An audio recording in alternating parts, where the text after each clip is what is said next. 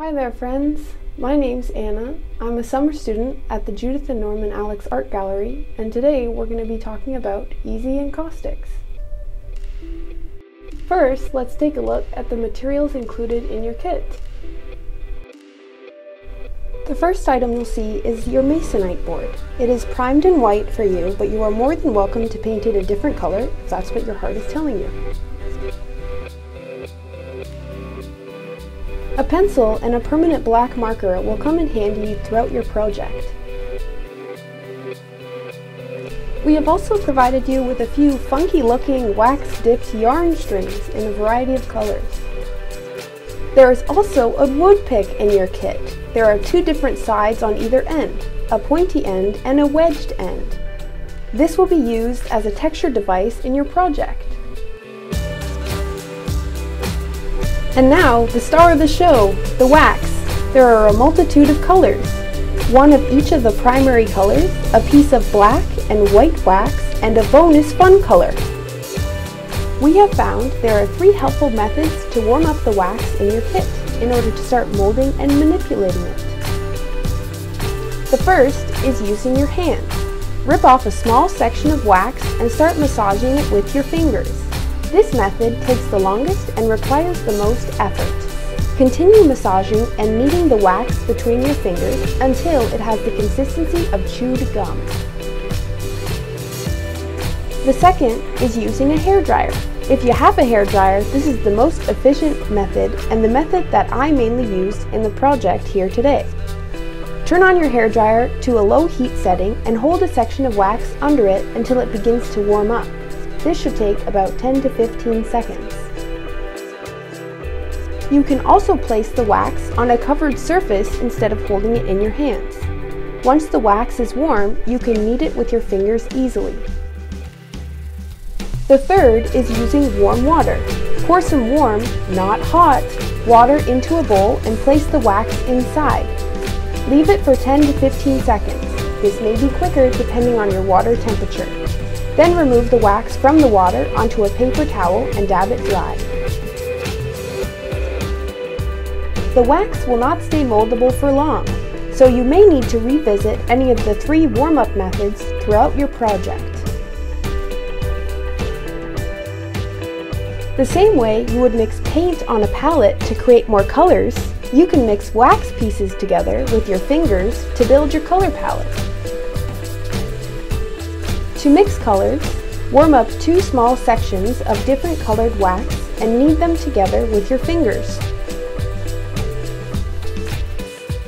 You can see while the different wax colors mix together, they create a marbled pattern. If this is intriguing to you, try exploring this texture in your creation.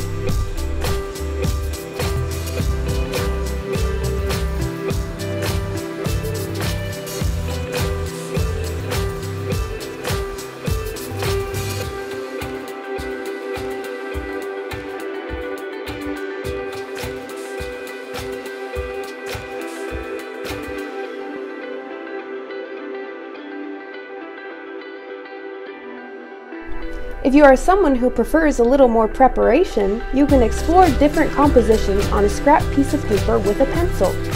If you don't have access to a scrap piece of paper, you can explore compositions directly on the board surface. But of course, planning out a composition is optional. If you want to dive right into the materials, then go for it. For my design, I composed a group of volcanoes to show you what's possible with all the tools in your kit. But remember, there are no restrictions on your imagination, so follow your heart. Once you have decided on a composition, you can sketch it onto the surface with wax-dipped yarn, or you can sketch it onto the surface with permanent marker.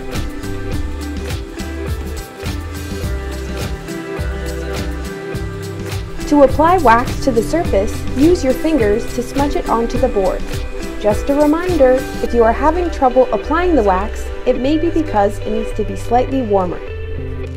You may notice when applying wax, it can be more translucent, see-through, or opaque, bold, depending on the thickness or thinness of the wax layer.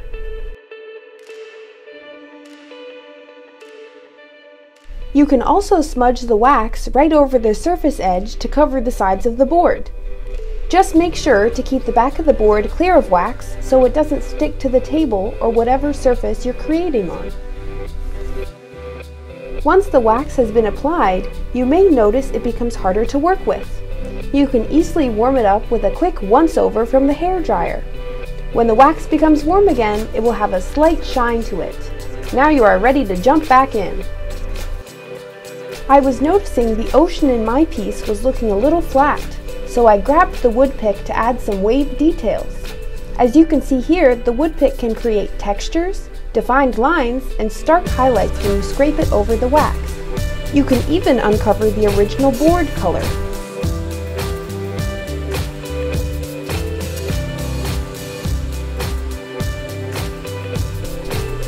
If you have leftover wax-dipped yarns, these can be added to make certain elements of your composition pop out. They will stick directly to the board and the wax. You can use the wax-dipped yarns to depict movement to give your composition life, or as a frame to give your composition structure. Maybe the wax-dipped yarns are shooting off the board surface. The possibilities are endless.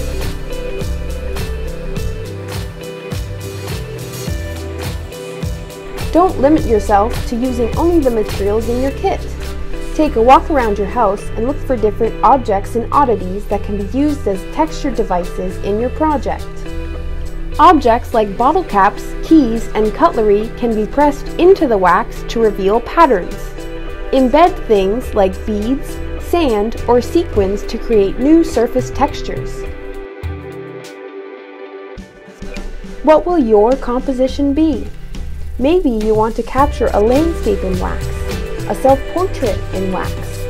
If you are inspired by something more conceptual, you can try to capture a sound or a feeling in wax. There is inspiration all around you.